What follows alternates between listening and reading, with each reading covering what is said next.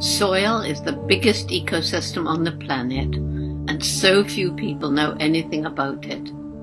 One teaspoon of healthy soil probably contains more microbes than there are people on Earth. The microbial life in the first twelve to fifteen inches of topsoil is the basis of our existence. It is this magic beneath our feet which has produced the life that we are. This first twelve to fifteen inches of soil is the basis of life for eighty-seven percent of life on this planet, including you and me.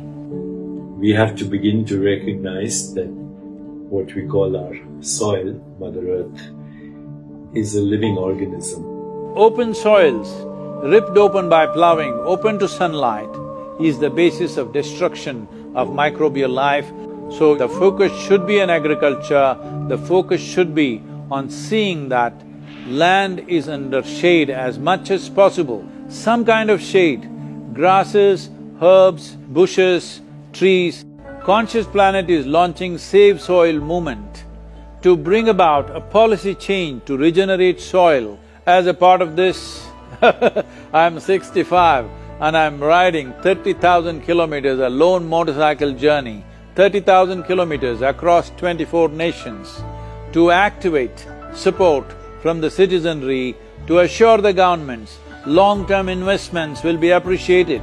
So it's extremely important that soil regeneration is enshrined in the policy of every government on the planet. We must change the narrative on the planet that soil is a wealth, a legacy we have received from previous generations and we have to pass it on as living soil for future generations. We are in a cusp of time, if you do the right things now, in the next fifteen to twenty-five years, we can significantly turn this situation around and regenerate the soil.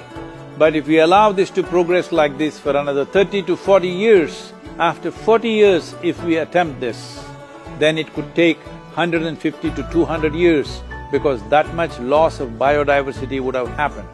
From 21st of March for 100 days, the whole world, every human being on the planet should talk soil. We must hear the word soil, save soil everywhere to see that the narrative on the planet changes towards the most vital aspect of our life, the soil. Each one of you should reach as many people as you can to make this happen. Many global leaders and influencers are already participating in the movement. Be a part of this and let us make it happen.